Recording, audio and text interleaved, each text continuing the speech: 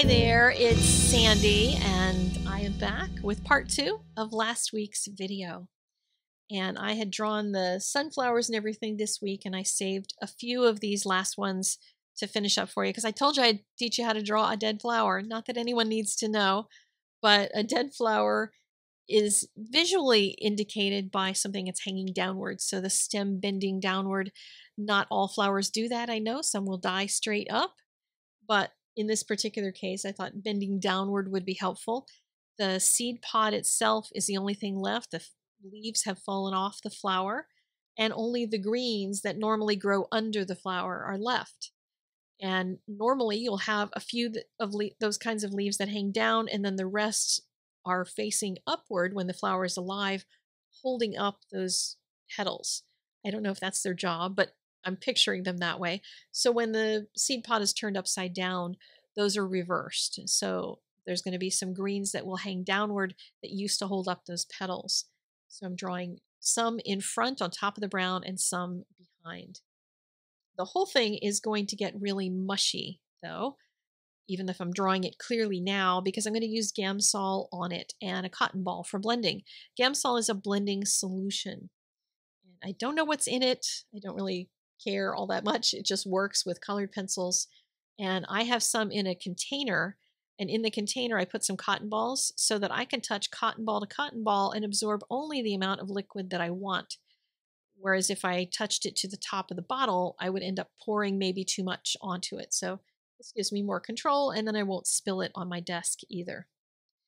So this is the finished pair of pages. I've added a lot more layers to it.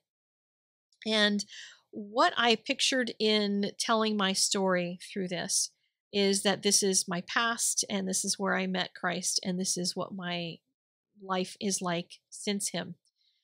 There's a lot more fuzziness and murkiness on this side. The skies are gray.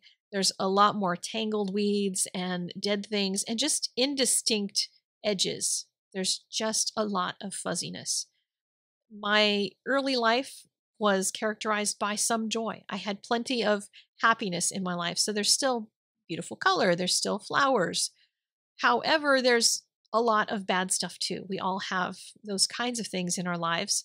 And I'm not going to get into all of that here, but in terms of telling my story, I could use one of those instances to illustrate the point that I'm making to you now about the fact that as Christians, we still have some things in our life that don't go great. And they're not they're not wonderful things. I had a number of those that were all mixed up together. I couldn't tell the difference sometimes between good and bad because there were things that looked like they should be good and they weren't, and things that looked like they should be bad and they seemed to turn around. And I didn't really know. Edges of everything were murky. So that is one of the reasons for all of the fuzzy edges that I've created. But there was a moment when clarity started to appear. When I was in my early 20s, I had walked away from the Lord and I had a moment when I needed Him. And I didn't really know even how much I needed Him and I didn't know why I needed Him, but I ended up in a church. And long story to that, but in that church, I was positive I the whole building was going to fall on my head. I was absolutely convinced of it. And I hadn't been in a church for that reason. I didn't want to bring any buildings down. And instead, the Lord met me there. And I can't explain it, but it was the tiny moment of clarity that began. Just a little tiny bit, that little leaf was all God needed to start working his way back into my life and prying my heart back open.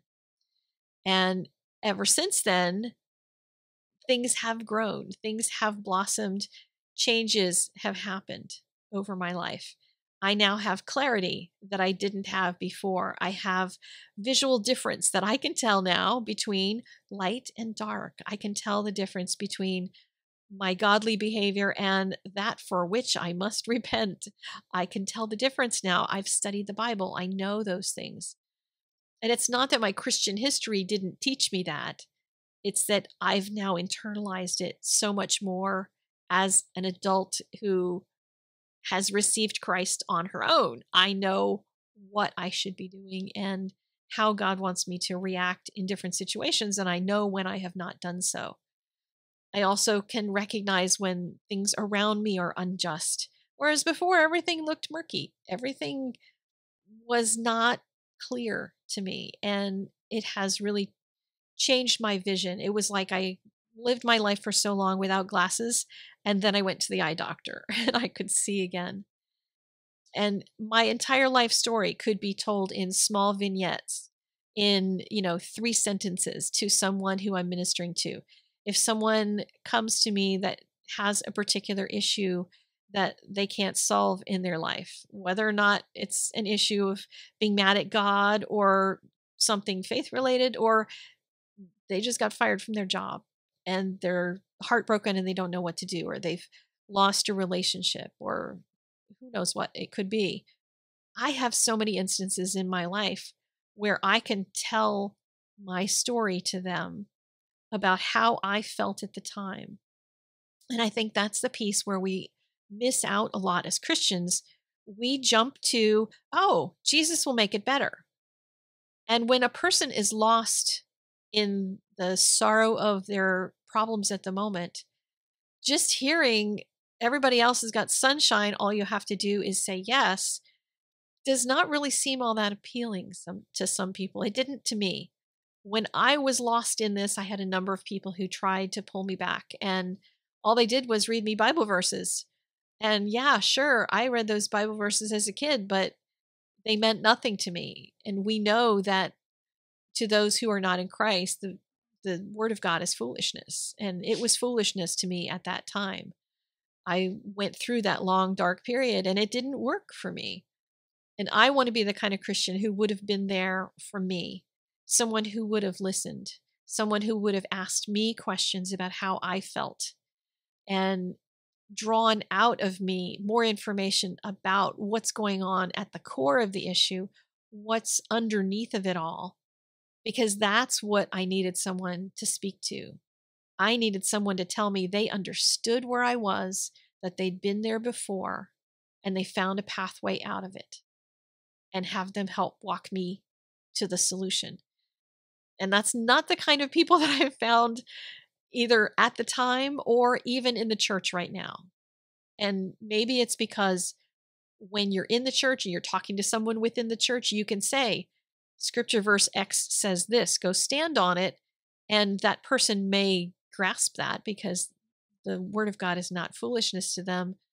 But when we're talking to people who are not believers, it's so important for them to feel heard and understood and then find the solution as opposed to throwing the solution at them and making them feel like they're they're just not capable of understanding it and that can often make it feel worse. It made me feel worse. Made me feel like i was a terrible person for not being able to just pray and make it go away. And i want to be the kind of person who helps folks in that situation. That's my goal.